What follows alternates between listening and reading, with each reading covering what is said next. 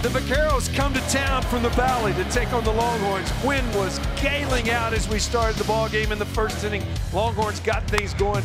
How hot is Murphy Stehly?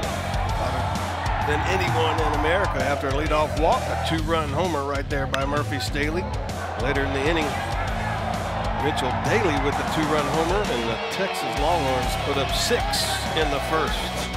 And then the defense for the Longhorns was outstanding again as Ricochet 1-4-3 put out off the glove of Justin Eckhart. And then how about a play right here by Dylan Campbell going into the corner in relief of Eric Kennedy. This the defense just outstanding all night to make plays when they needed them. Cotto with a nice diving catch. And then how about double play balls?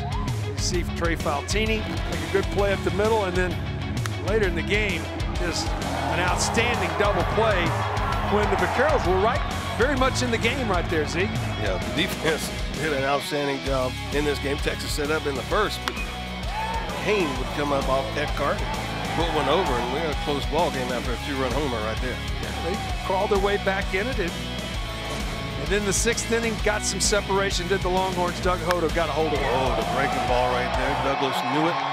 400 feet, a three-run home run for Douglas Hodo, his third of the season. Then in the ninth, a great play defensively again by Trey Faltine, and the Longhorns come away with a 13-5 victory.